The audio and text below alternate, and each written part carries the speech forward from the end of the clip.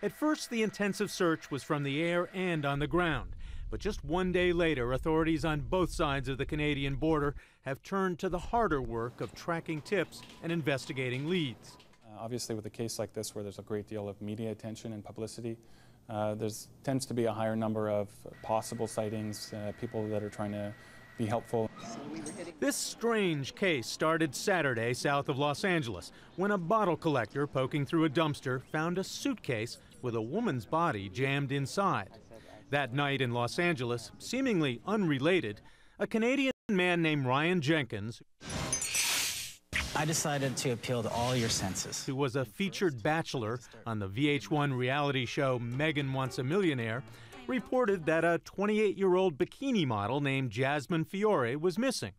Tuesday, through the serial numbers on her breast implants, the body in the suitcase was identified as that of Jasmine Fiore, and Ryan Jenkins was nowhere to be found.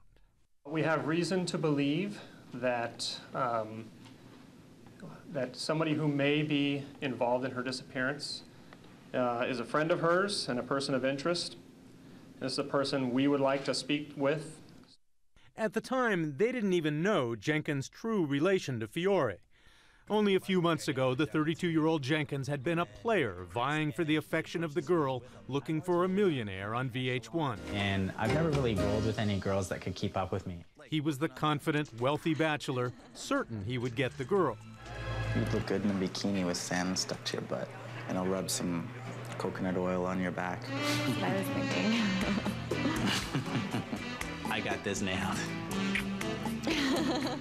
It hasn't been revealed what happened on the show, but after the production was done, in the reality of his life, Jenkins went to Las Vegas and met Jasmine Fiore at the Hawaiian Tropic Hotel. Both apparently were smitten, and within days, they married March 18th at the famous Little White Wedding Chapel. A woman who said she'd been sort of a second mother to Fiore described her. She was friendly, she was kind, she was happy, she smiled, she was exuberant, she was radiant. She was the girl next door, she was wholesome. Call the Yes Girls right now at 1 800 Yes Girl and have some fun tonight. But here she is featured in an advertisement for an intimate chat line. For a wholesome girl, some of the work she did bordered on the sex industry. Come on, guys, get out your cell and text GIRL to 85,000 and chat with wild singles like me right now. Uh, I don't have And oddly enough, when the police initially announced they were looking for Jenkins, they had a mugshot.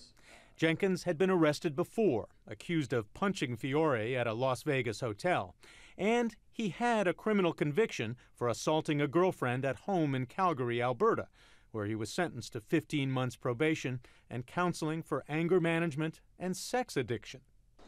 In Calgary, one acquaintance said Jenkins could be found anywhere they sold $18 drinks. speak out in this matter. But a woman once engaged to Jenkins described him as a wonderful guy.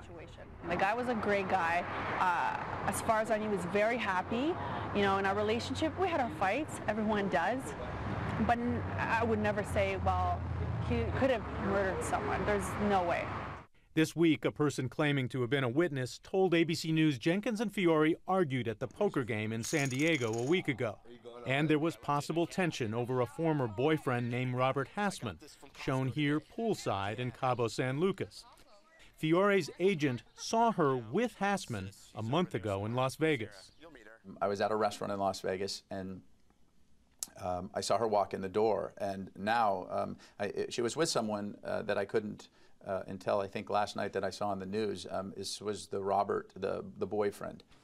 It was Hassman who acted as the family spokesman yesterday at a police press conference. Ryan Jenkins is an animal. Um, what he has done to Jasmine is uh, unspeakable. Whether it was Jenkins is unproved, but whoever did it strangled Fiore and more. The fingers and teeth were removed.